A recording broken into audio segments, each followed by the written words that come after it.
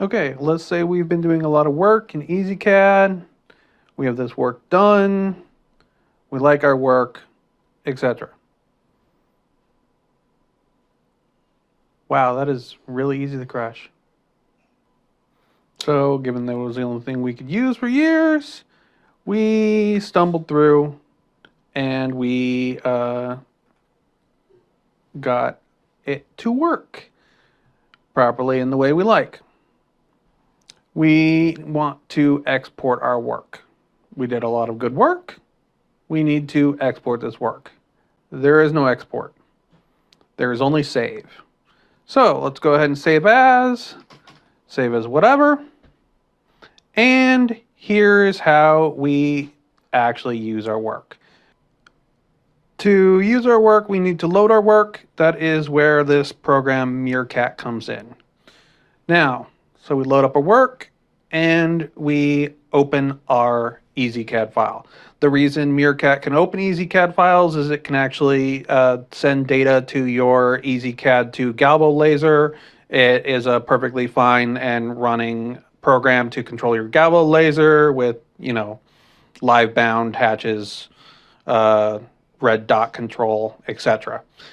Also includes the wait command, all the rest of the commands uh, at the appropriate uh, at the appropriate speeds. So we check in here frequency 28. Uh, in our original EZCad, we had frequency 28, power 60, speed, etc. So it copies all the settings over, uh, and then we can go ahead and start that and send it to our Galvo laser. However, the important thing for the nature of this video is that we can save as, and we save as whatever, and this actually gives us a file which is an SVG. And with an SVG, we can do whatever we need to do. So we go ahead and launch up our copy of Lightburn. And with our copy of Lightburn, we load the SVG.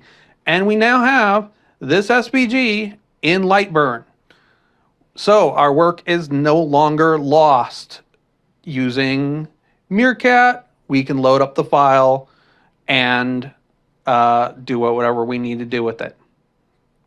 However, uh, keep in mind, uh, Lightburn will not have your settings.